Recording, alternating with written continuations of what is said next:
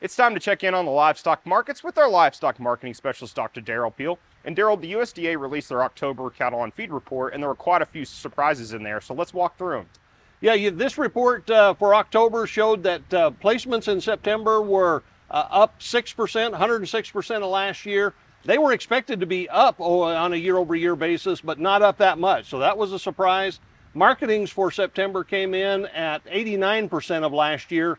They were expected to be down, but this was a little bit more uh, than expected. So the combination of bigger placements and lower marketings meant that the October 1 cattle on feed number was actually up almost 1% uh, on a year over year basis. So that's the first increase in cattle, uh, cattle on feed inventories that we've seen in the last year. So what was the reason for those in increased placements? Well, I think there's several things going on. Uh, you know, probably drought still playing a part of it. Uh, so probably some cattle were moving a little bit earlier than expected. Uh, that may be a timing issue where they just won't be there later, but they came in earlier. But I think part of it is just the fact that markets have been so strong, we're up so much on a year over year basis. Producers are taking advantage of that, particularly if they're not quite convinced this is going to continue uh, they're really wanting to take advantage of the market, so they went ahead and, and uh, sold uh, feeder cattle uh, earlier than usual, perhaps. There was also a quarterly, quarterly report about steers and heifers. So, what did that tell us? So, we've been anxious to see this uh, heifer on feed number in particular. Um, at some point, we expect to see that come down. We've been watching for at least a year. Uh, but it didn't. in fact, heifers on feed in the October report were up from not only from July, but up slightly on a year over year basis. And so that makes heifers on feed uh, 40% of the total feedlot inventory right now. That's the highest level that we've had uh, as a percentage of feedlot inventories for heifers since 2001.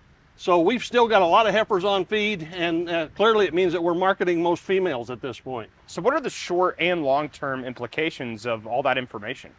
Well, you know, the, the fact that the cattle on feed inventory went back up a little bit, the placements were bigger than expected, so the market reacted bearishly in the short run to that. It means that feedlot supplies are going to be a little bigger than previously expected here for the next few months, uh, working through those. However, the longer term implications, I think, are very bullish for the cattle industry simply because of this female situation. When you combine with the heifers on feed, heifer slaughter uh, that comes from that, uh, and the continued relatively strong levels of beef cow slaughter, uh, it's, it's very clear that this industry is still liquidating females. Uh, and, you know, the, the beef cow herd inventory will be down on January 1, uh, 2024.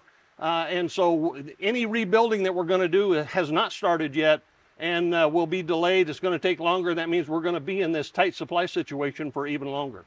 Now, you mentioned drought earlier in that report. So, as we can see, it's raining right now and it's been really dry.